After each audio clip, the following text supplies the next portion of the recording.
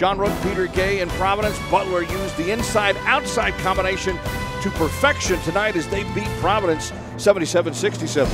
Yeah, early going, PC tried to stay with Butler, but Butler just deadly from the outside. At one point, they were shooting almost as good from three point range as they were anywhere on the floor.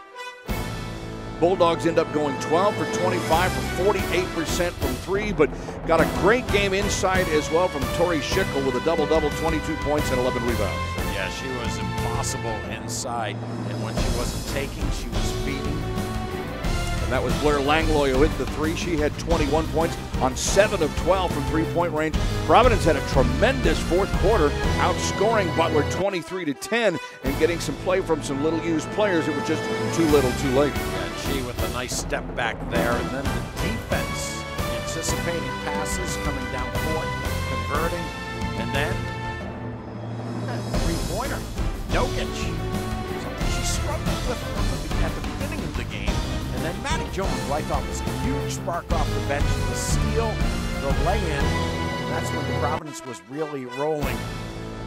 Schickel, though, took over.